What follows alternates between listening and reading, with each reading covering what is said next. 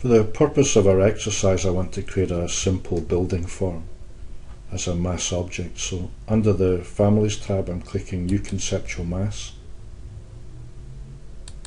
and then I'm going to pick the mass template and open.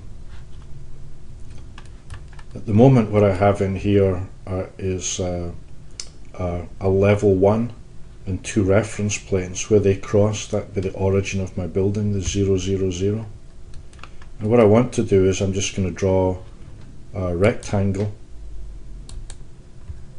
and be careful to look at the options uh, bar here and make sure that you've got level 1, level 1 selected and I'm drawing that kind of around the where the where the reference planes meet but not to any sp specific size. I'm then going to position this sketch by placing dimensions. So if I go left side, center plane, right side, and click to place it and then hit the equal sign, that's going to make for equality or symmetry around the, the axis. And then I'll give it an overall dimension. I'll do the same on the other side where I go back, line, center line, front line, place, and then hit the equality constraint. And then I'm hitting the back line, front line, place the dimension. Uh, and I'm going to I'm going to give them parameters. I'm going to turn them into parameters so that I can drive this where this is going to be building depth and this is going to be building width. So if I click on the dimension, up in the label I say add parameter. And uh, here I'm going to call this building depth. And for the one at the back I'm going to call that building width. So you select the dimension and on the label tab you say add parameter building width. Click OK.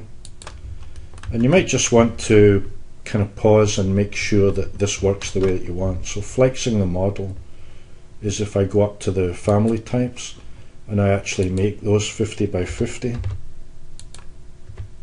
is my building um, flexing correctly around the origin?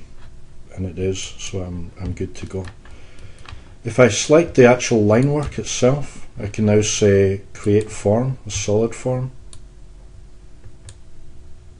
And uh, you notice that it defaults to kind of an arbitrary height really depending on what you drew, but there's beside that height there's a symbol that says make this temporary dimension permanent. So if I click on that, that becomes a permanent dimension. If it's a permanent dimension, then I can select it and I can say add the parameter and we'll call it building height.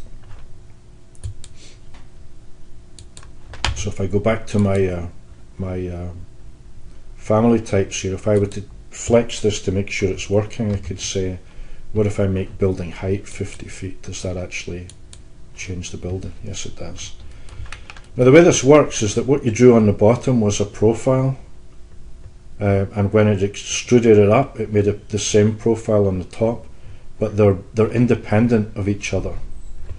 So if I actually pick on the top surface if I if I were to say edit profile then I can go inside I'm going to remove the this straight edge and draw an arc instead